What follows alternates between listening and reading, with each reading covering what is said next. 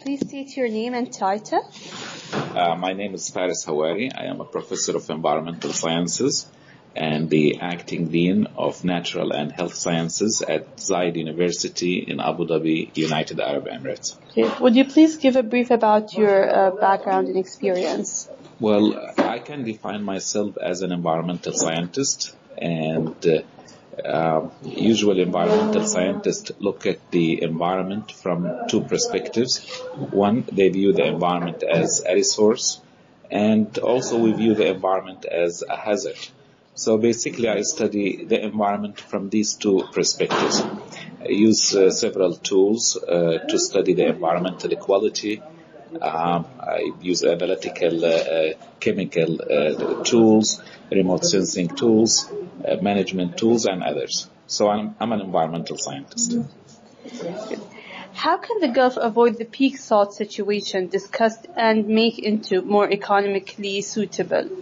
Well, uh, you know, we can turn the uh, liability into source of profits if we can actually find a, a good uh, business case for the, uh, you know, the, the, the liability, whatever, whether it's salts, carbon dioxide, or um, you know any type of liability. For example, for salts, we can actually uh, purify it. We can uh, uh, make it commercially grade. We can use it in you know the chemical industries to produce acids like HCl. we can produce you know. Um, uh, commercial grades like the food salts and others.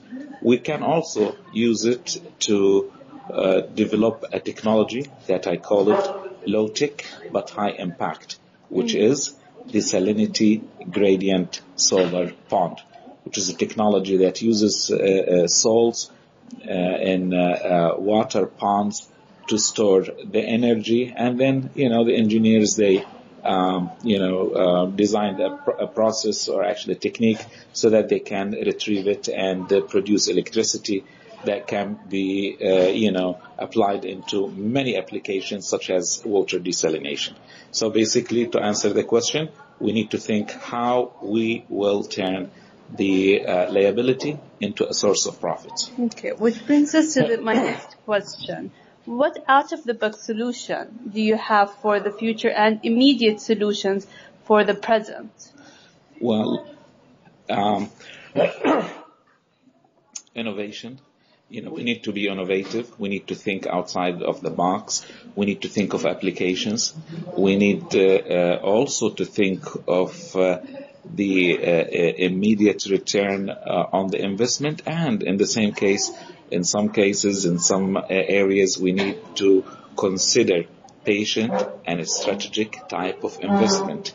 So all of these things actually together, they can uh, uh, lead us to solution. They can lead us to, uh, you know, find answers for the most troubling questions that we are facing, especially in the field of water, energy, and food security.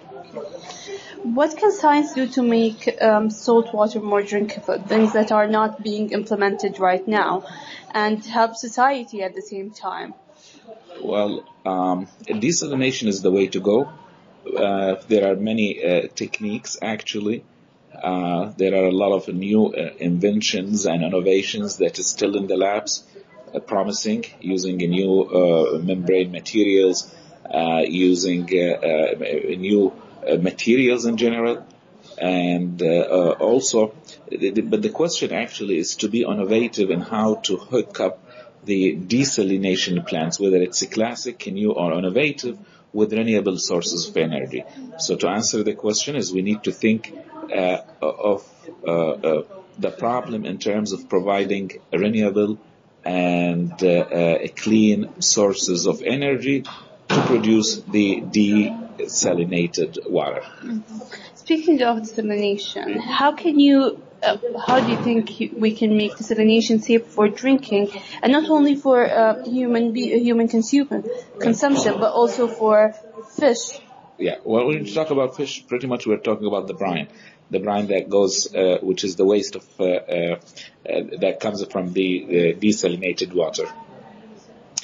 Well, for any uh, projects, we have to uh, conduct what we call it environmental impact statements. Mm. And this is a statement actually will balance the benefits and the consequences. Now, if the benefits uh, uh, more than the consequences, then we will go ahead and uh, uh put the project forward.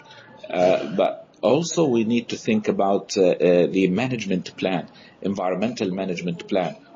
You know, how to transport the brine, where to dispose it, how to recycle it, and so on and so forth. The last thing that we want to think of is disposing uh, the uh, waste. That's not a good option. We need actually to uh, uh, recycle it. We need to reuse it. We need to find an application for it. Okay. Are there other techniques that you are looking into, perhaps capturing humidity or finding a way to remove salt from the, way, the water to make it drinkable? Um, yeah, this is actually, we have a, few students working on uh, irrigation from humidity in the, in the Gulf area. You know, during the summer, the weather is so humid. So basically, uh, what we are thinking is that, uh, you know, of uh, an invention, a technique where we can, uh, you know, uh, pump water into coolers and also having the, the, the, the, areas uh, you know, uh, where we will uh, condense the water, have a material that we call it hydrophilic, a material that love water. So basically, you know, when water cool enough, then uh, you know when, when I'm sorry the the water vapor cools enough it starts actually uh, condensing now if we have a material that loves water then it will take more of this uh, uh, condensation and that will make the process uh, even more efficient. Uh, but these are actually again uh, students projects and uh, yeah, we encourage it. It's, it's, it's a promising t- technology that we need really to pay more attention to it. Okay. Um, how do you think that the Bahrain Science Collaboration Symposium have helped towards finding solutions in that direction? Um, have it helped or um, have the um, topic not been discussed enough? And have you figured out better solutions because of the symposium? Yeah. Well, the symposium, it's uh, an eye-opening on a lot of uh, new fields. Uh, uh, there were some uh, good uh, talks that reviewed the uh, problems, the nexus between uh, water, energy, and the environment and the food as well. And they talked about the three E's, energy, economic, and environment, the interlinkage and the complexity. And, you know, the symposium also created an opportunity for uh, scientists, uh, not just from UK and the GCC, but also uh, among the scientists from the GCC, open doors and pathways. And uh, yeah, I've heard a lot of people they uh, started developing and crystallizing ideas for a future collaboration. So in essence, it is a successful uh, conference, a successful symposium, and I think we should see more of this. Okay. Thank you very much, Professor. All right. Thank, Thank you. you.